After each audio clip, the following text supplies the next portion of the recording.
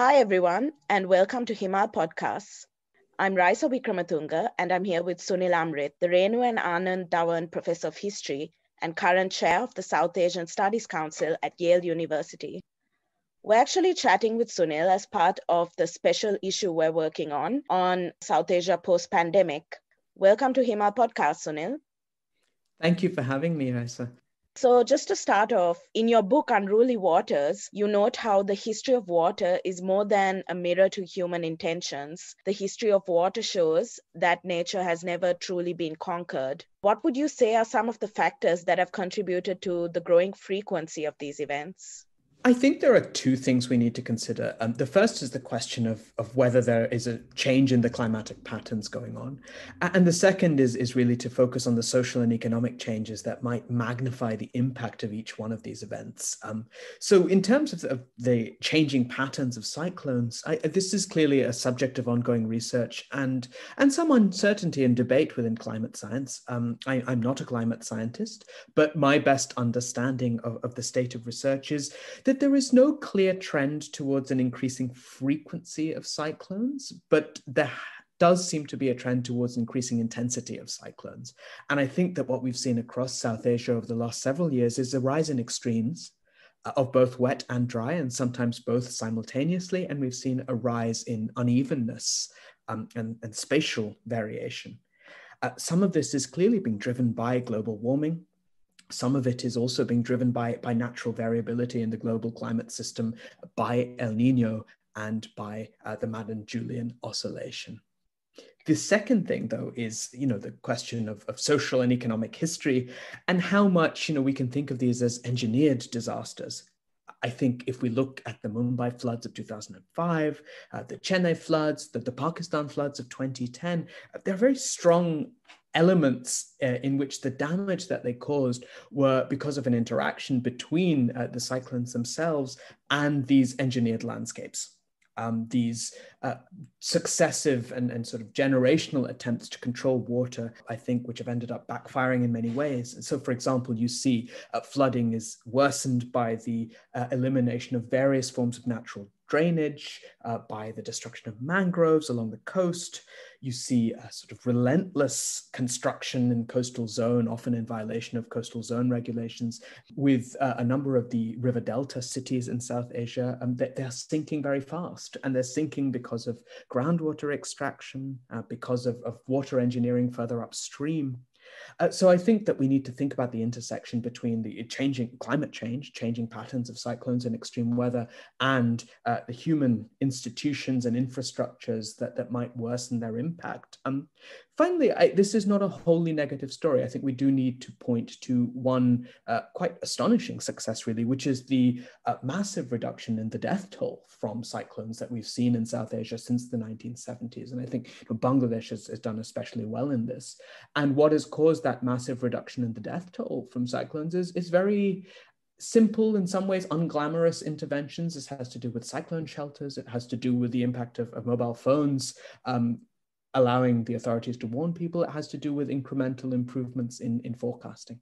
And I think the point that you made about it being more an issue of extremes rather than growing frequency is quite interesting and leads to the next question that I had, which is also related to unruly waters. It also talks about this disease of gigantism and how the process of development has widened the gap between rich and poor post independence, in a way unconsciously following colonial projects. Would you say that that's still true? It's interesting that phrase, the disease of gigantism, actually came from Nehru himself, and, and he said it, I think, in 1958. And it seemed to sort of indicate a change of heart on his own part. I mean, Nehru's so much associated with that reverence for, for big dams, for example, you know, that famous quotation that he saw them as the temples of the new India. But you know, here he is in 1958, and he points out that, you know, it may be that the small projects uh, taken together uh, have as much impact on improving people's lives as these gigantic projects. I do think it's still true. Um, statistically, I think it looks like the 1970s were probably the peak of dam construction, certainly in India. But what we've seen happening over the last 15 or 20 years is, in fact, a sort of move to dam the, the upper reaches of the mountain rivers, which are, of course, you know, quintessentially cross border rivers. And this wasn't technically possible or financially feasible until the 1980s. That's true in China as well as in India. It's only in the 1980s uh, that the Chinese government starts to think about building these large dams in, on the Tibetan plateau. And it's only in the 1980s and 90s uh, that the Indian government, but then also in Nepal um, and Bhutan, uh, that these sort of mountain rivers begin to be dammed. And this comes with, with enormous risks, needless to say, and they're seismically active zones.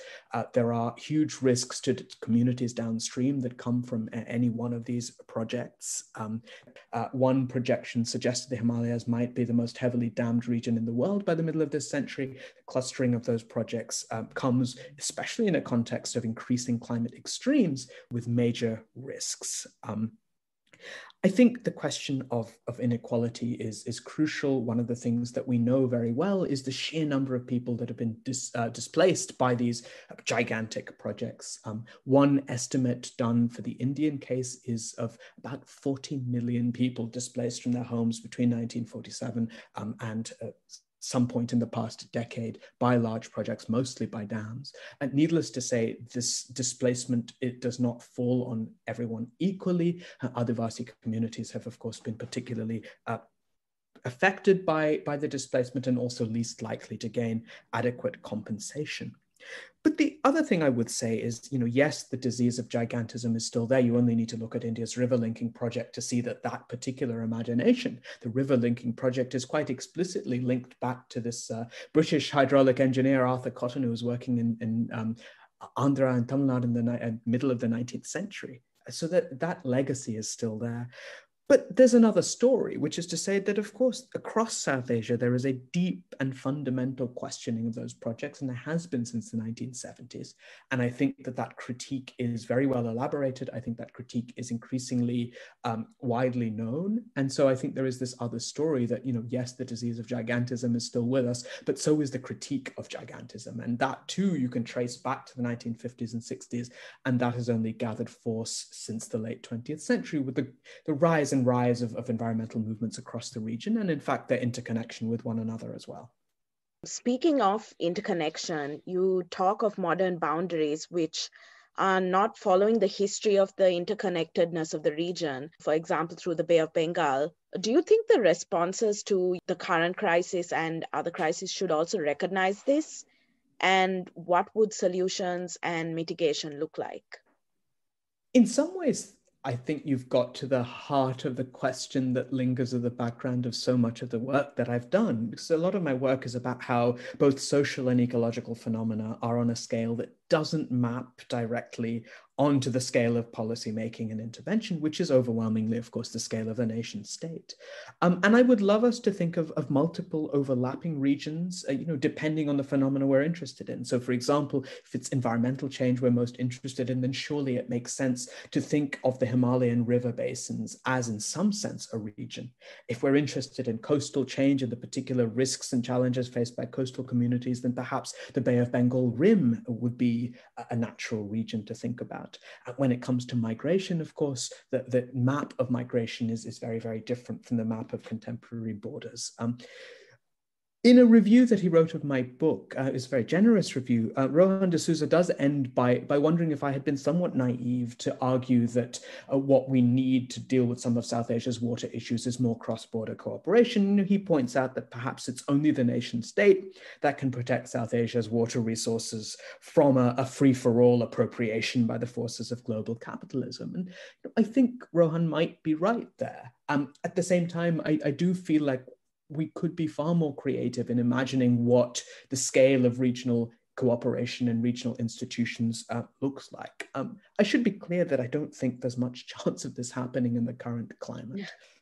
I also wanted to talk about one of the stories that made headlines, uh, which was of migrant workers who were stranded at borders or you know, walking on foot to reach their hometowns. And since you've also written a little bit about the history of migration, I was wondering if you could talk a little bit about that history in the region and some of the factors that have shaped migration in the past.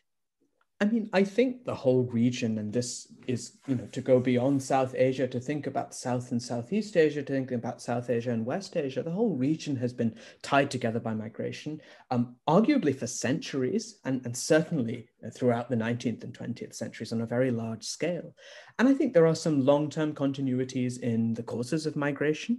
Um, one of them is, is debt and I think that remains at the heart of so many of the movements that, particularly um, working class migrations, are oriented around uh, huge amounts of family indebtedness, which, of course, uh, in some ways strengthens the power of labor recruiters and then subsequently employers. And that was true in the 19th century. That's how indentured labor was recruited from India. I think family networks remain really crucial to understanding migration. You know why it is that people from a particular place end up migrating to um, some destinations and not others. I mean, these the migration is, is deeply patterned. And the historian Adam McKeown uh, used the uh, metaphor of grooves of migration. This is something I've always liked because I think that's right. They tend to they tend to become self-perpetuating over time.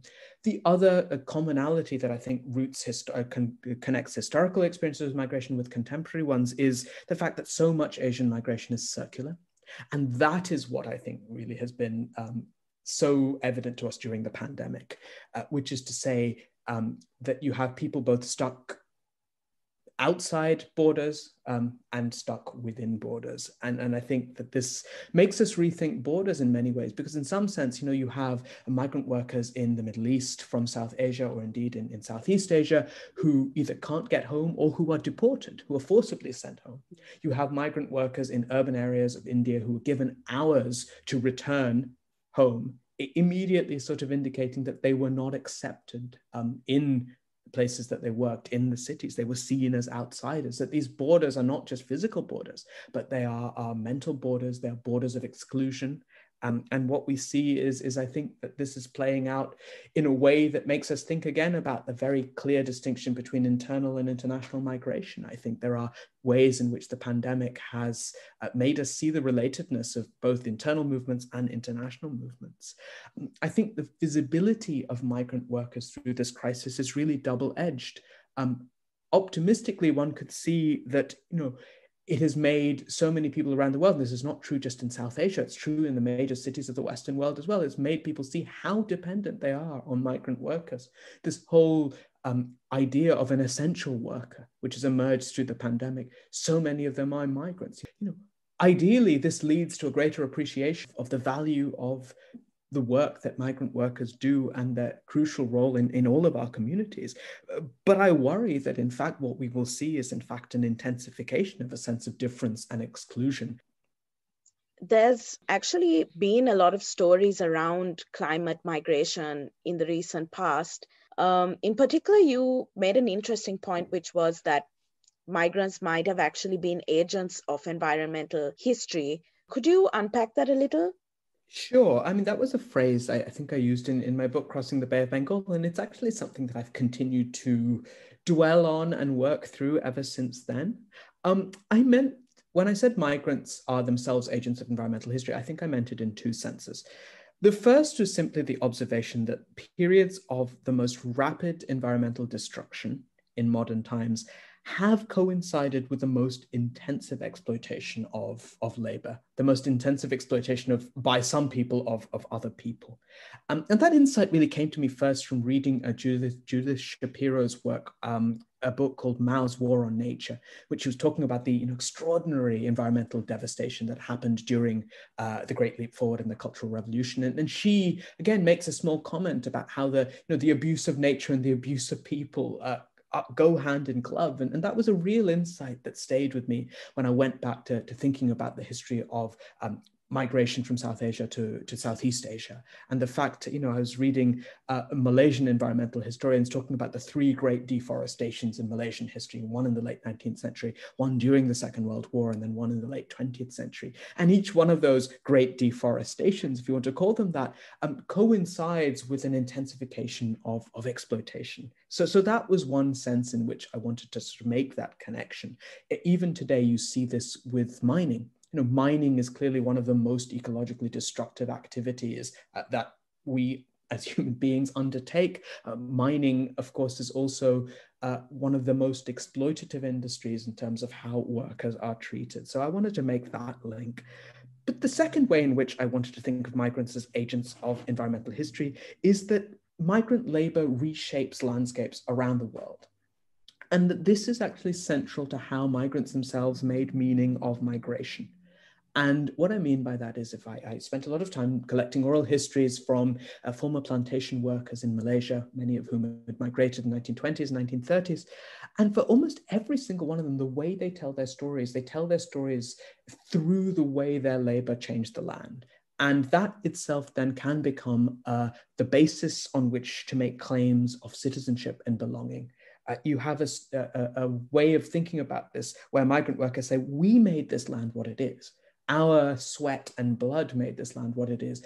Um, of course, this is our country too. So, in that sense, I want to think of, of the reshaping of landscapes not simply in terms of environmental destruction, but you know, even the most destructive of these processes um, ends up being a part of the life experiences of those who are involved in these, often against their will, often working in very exploitative connections, but but they're also making meaning out of the landscapes that are created. And I think that is something that the anthropo- anthropologists have shown. I think it's very important to think about that dimension of this as well. Um, but finally, one of the things I've just been really motivated to do is to point out that this idea of climate migration is can be a very reductive concept.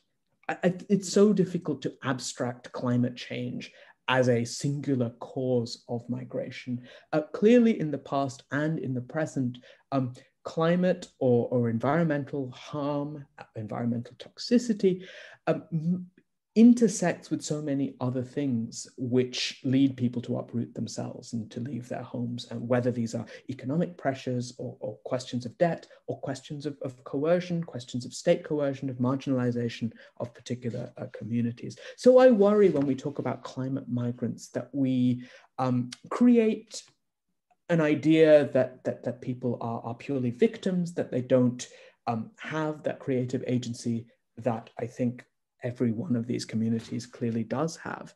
And I'm always struck in the work that I do that the, the simplest question, why did you migrate, is perhaps the hardest to answer for anyone, for any one of us. It's true in, in my own life as well, that I think there's so many different causes that sort of shape migration and that shape the particular routes that people take that it, it is helpful, I think, to, to, to be cautious with phrases like climate migration. Do you think that there's any similarities between the oral histories you've create, uh, you've kind of collected from the past and what's happening now? I think one commonality is is is clearly that networks matter that migration is not always a viable option for people who face environmental disasters. And I mean, I think this is one of the things that does tie the past and the present. Um, you know, if you read some of the media discourse about climate migration, you imagine that, you know, uh, climate change happens and then vast numbers of people are on the move. It doesn't work like that at all. In fact, I think the far greater risk is people who can't move, is people who are, are stuck is people who, for whatever reason, whether that is because of, of disability, whether that is because of, of absolute marginalization, because of it's uh, a lack of the, you know, the sometimes quite substantial capital one needs to be able to make these moves. Um, I think it is more likely that, that the most vulnerable people in the world uh, will not be climate migrants at all. They will, in fact, be, be immobilized. And I think that is something that does tie the past and the present. Uh, one difference, of course, is the sheer pace of, of, of environmental change. I mean, anthropogenic climate change is is showing its effects in a in a brutal way in South Asia now, and and that is not the case when I'm talking about the 19th century. You know, those were um, for for better or worse um, natural phenomena. Which nevertheless only become natural disasters when they're mediated through uh, social and cultural and political institutions.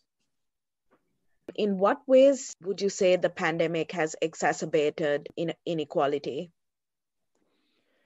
I think the pandemic has exacerbated inequality in, in the most visceral way. Um, because it, it suddenly becomes clear if, if, if everybody is ordered to go home, you know, what that home means is as good an illustration as any of the stark inequalities that divide South Asia and indeed that divide every society that I know well. If people are told to socially distance, how possible is it for people to be distant when they live in crowded conditions in crowded cities? Um, when people are told to take precautions, that's fine if, if you're an academic who can teach by Zoom from home. It's not fine if, if you have no choice but to go to work. I also want to talk a little bit about one of your older books, Decolonizing Public Health.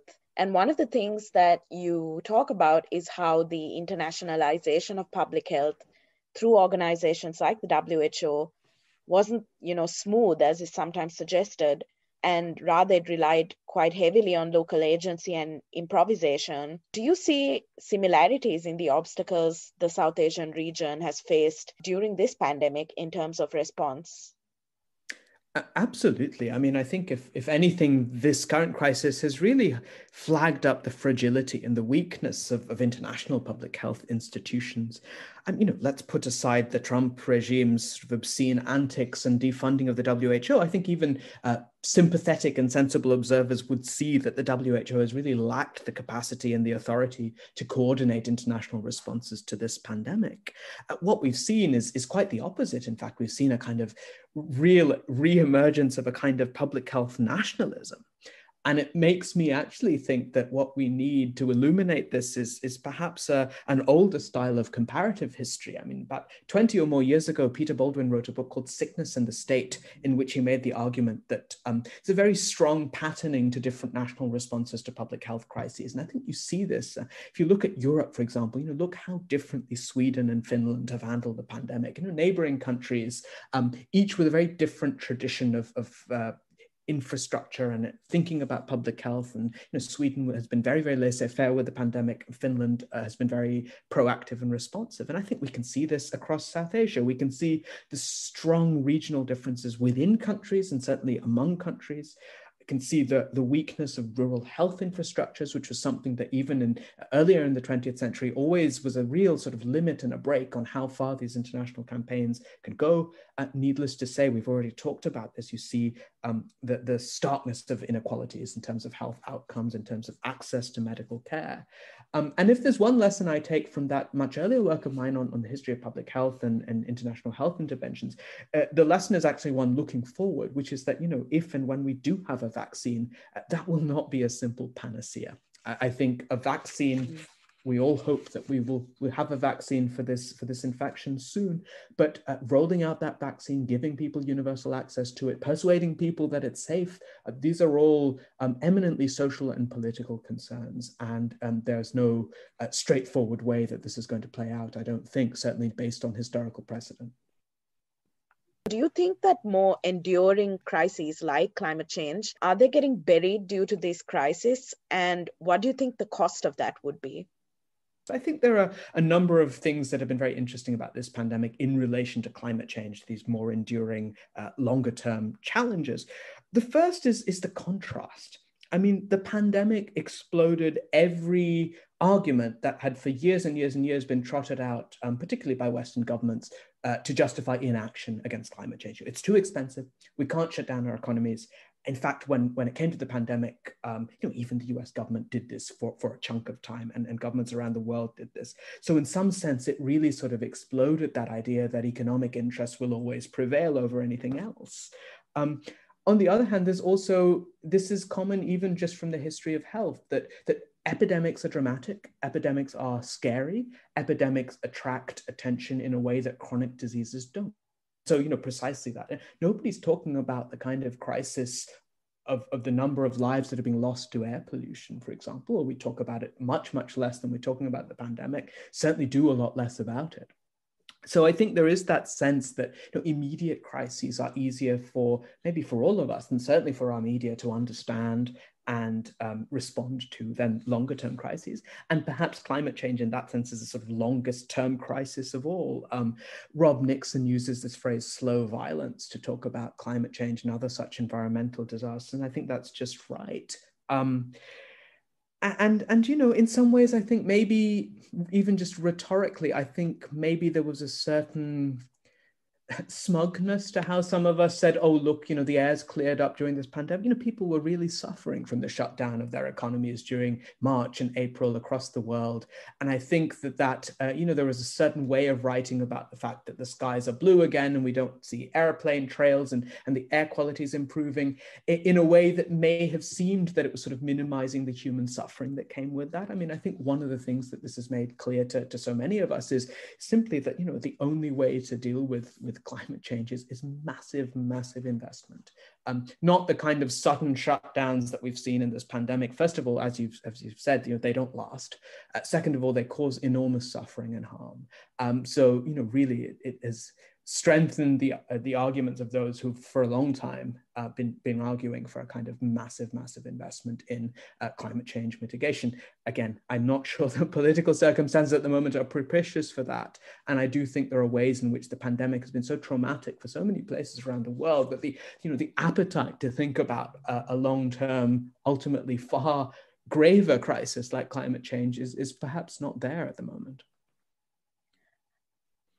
why do you think environmental history is important? And do you think that there are lessons here that can be applied for the current situation and the future as well?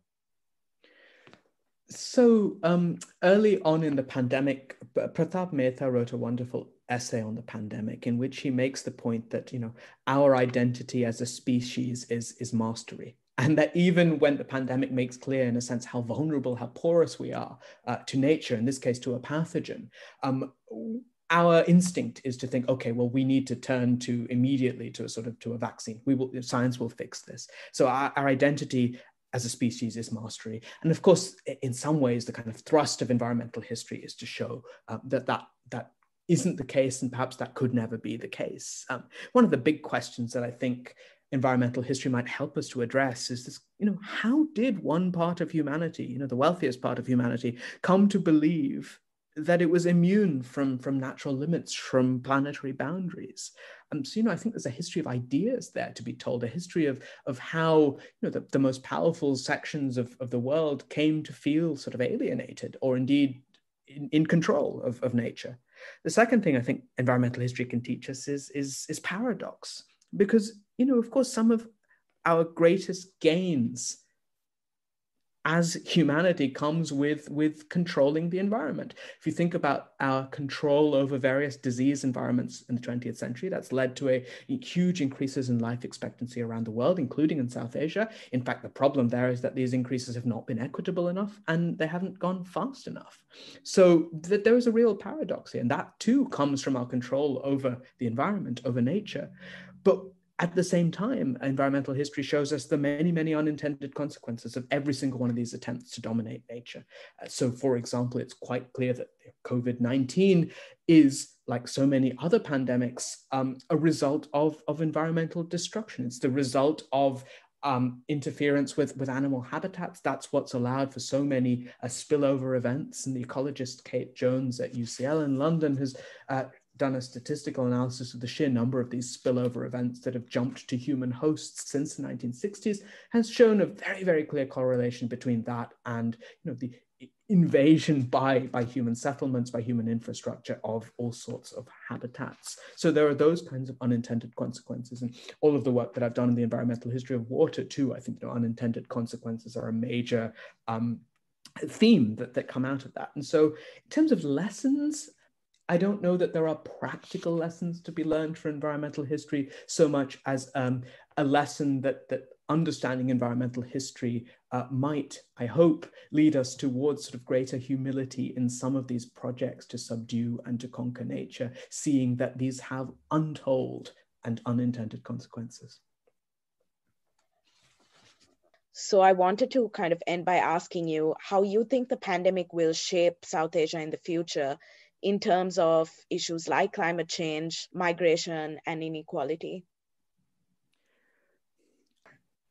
At, at, my most optimistic, I think this can, this must be an opening uh, for those voices that for, have for a long time been calling for, for example, a more equitable healthcare system, for the importance of cross-border cooperation, for a more expansive view of, of security, thinking about human security as well as military security, uh, for those voices that have pointed out that environmental destruction will inevitably have an impact on our own well-being and on our health. I mean, I think if ever there was a moment for these voices to be heard, that this is one. Um, my fear, though, is that the crisis will, we've already talked about the ways in which it might accelerate inequality. I think this has already been the case. I mean, I saw a news item recently that the period since March has seen possibly the biggest transfer of wealth, the biggest gains in wealth ever by the, you know, by the 0.1%. Uh, the second is I think that the emer emergency health measures that have been taken have been taken in an atmosphere of rising authoritarianism across South Asia and indeed across the world, including right here in the United States. Um, and I think this is a real risk that some of these emergency health measures may, in some way or other, be made permanent. The sort of systematization and control of minorities, migrants, and the vulnerable um, the stigmatization of particular populations. So I, I, worry about the climate of fear, indeed the climate of misinformation that we've seen. Um, finally, I think the economic damage of, of the pandemic has been profound and will be very long lasting. And that too will um, shape inequality, but will also, of course, shape politics across the region. Thank you so much for joining us, Sunil.